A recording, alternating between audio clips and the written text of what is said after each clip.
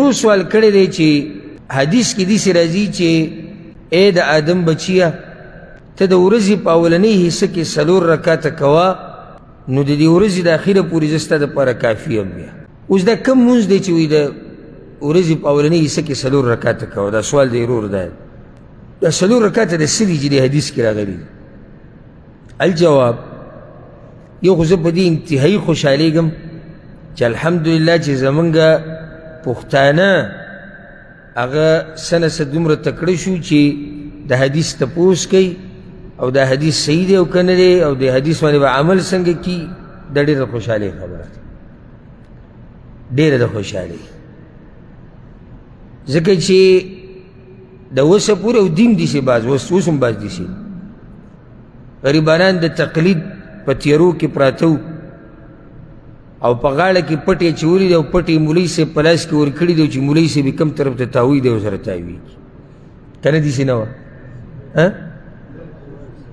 دا کلي ته چې کوم لږ مشران ناست دي نو دوی ته به بیا ډېره ښه پته بلکې د کشرانو ته هم پته ده مسله څه ورکه شوې نه ده بلکل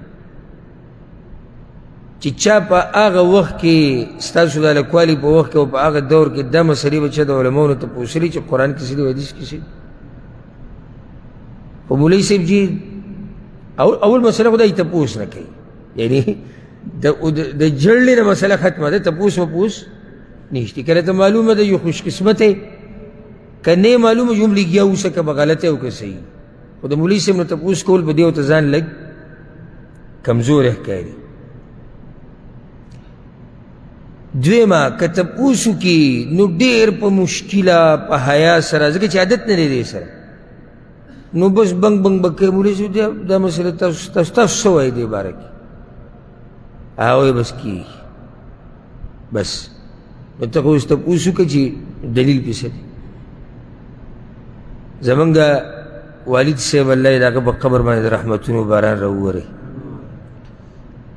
هغه خبره کولې زمونږ الکواله کلی کې مسوتن سابیاق سے وی بیان شروع کو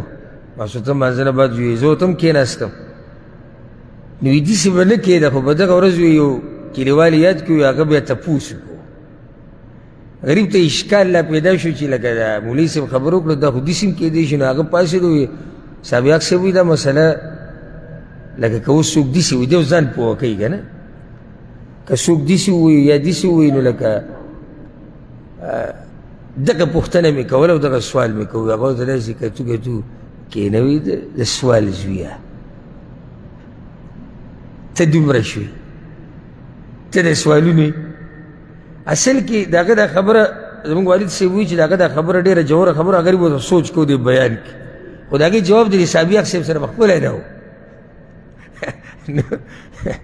نو حسابي حق زه دې کېروي د سوال زیوي ته د سوالونو شي ته زما نه سوالونه کې نو چا یې بد ونه وي بلکې مشرانو هغه هلک ورټو چې ښه یې درسره وکړو بې ادبه ته دومره شوې چې ته پاسې او ته ته سوال کې نو په دې سي معاشره کې وا دا کې دی ویلو چې سابق صاحب حدیث راته وخی به کوئی وشته به دا بیا کوئی د باندې ډز کو ځکه چې حدیث خو الحمدلله دوی په موږ پورې خاص کړی دی حدیث پوه شو ولا حدیث پوه شو دا دوی کار دی نو کدا دی وته ویلو چې حدیث نو بیا کوئی د باندې ډز کو چې تا به کې نوې قصه شروع کړ نو الحمدلله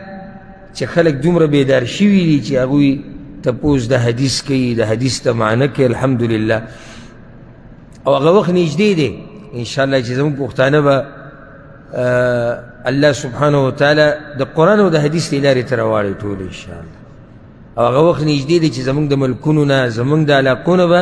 د بدعات او خرافات او د شرک او دا قسمه خبرې به انشاءالله زر ختمې شي باذن الله بلکل وکړه ها ها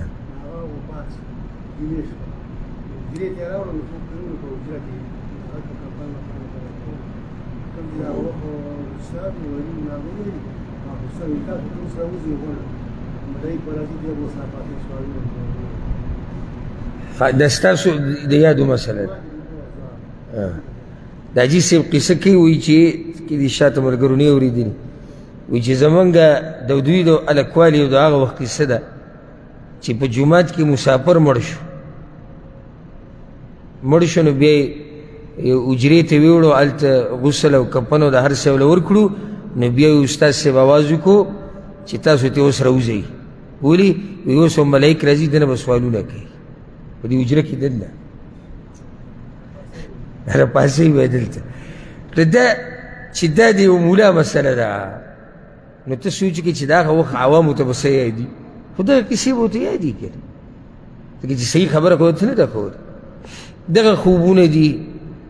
دا قصې دي پلاني خوب ولیدو هلته خوب ولیدو دلته خوب ولیدو الله دې زموږ په حال باندې رحم وکړي د ورور ډېر ښایسته حدیث باره کې تپوس کړی دی او دا حدیث چې دی دا امام احمد امام ابو داود راوړی دی او زه به درته دا حدیث ووایم چې تاسو به پوه هم شئ او الحمدلله ما ته یاد دی چې ما دا په یو بیان دوو کې بیان کړی هم دی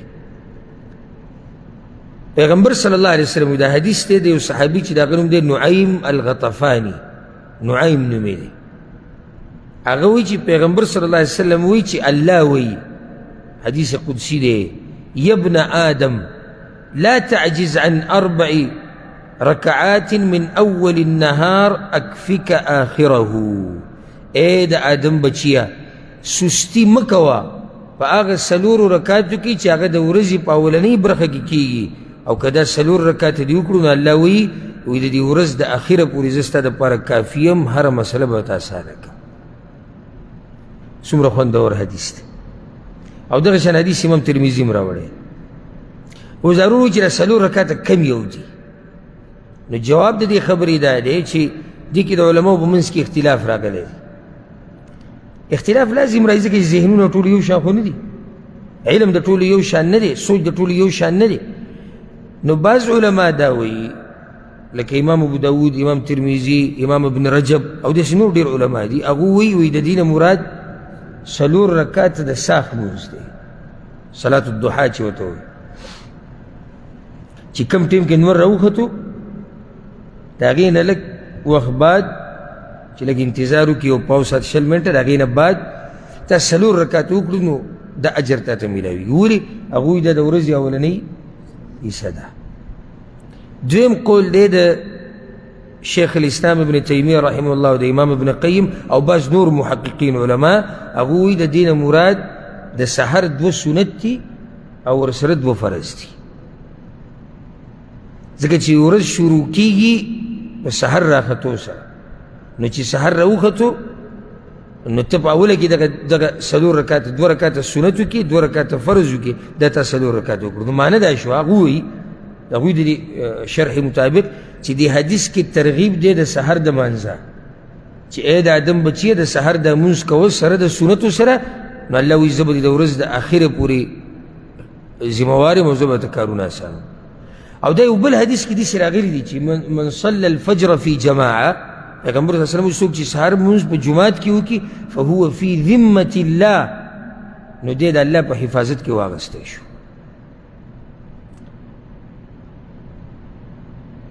بعض علماو دا ویلي دي وی دا نور چې کوم ټیم کې راوخیږي دې ته هم د ورځې اولنۍ حصه وي که نه اخرنۍ ورته وي نور چې راوخېږي دا د ورځې کومه حصه ده اولنۍ ده نو خبره د دواړو طرفینو برابر ده ځکه که دوی دې ته وګوري دوم اولنۍ وخت یادوي هغه هم اولنۍ یادوي د هغوی هغه وخت هم څه وروستنی نه دی نو ځکه تا ته دا وایو چې ای مسلمانه ای اورېدونکیه داسې وکړه د دې سحر د سنتو د مانځه خیال کوه وروسته صلات الدوحا کم سے کم سلور رکاته کوه صحیح شو که نه نو اجر که دلته دی او که دلته دی خو تا ته هغه اجر څه شو میلاو شو سهر سنت اهتمام سره وکړه ورپسې دوه رکاته فرض مونځ وکړه بیا چې کله نور راوخوتو د هغې نه څه وخت بعد که کار کې که کور کې که هر ځي کې جانماز ځان ته خور که او یو څلور رکاته مونځ وکړه معمولی اجر نه دی کنه د ورځ د اخیره پورې به ته الله هر څه اسان کړي یعنی د نور د ډوبېدو پورې ستا د مسلو د حل کولو ذمهواري چا واخیسته الله واخیسته د دې نه بد ته څه غواړي چې الله دا وایي چې ستا خبره زما په ذمه نور څه غواړي بیا ته موږ خو دقه وایو چې زموږ دا کارونه الله موږ ته اسان کړي د دنیا او د آخرت کارونه موږ دقه غواړو او هغه په دې سره کیږي والله اعلم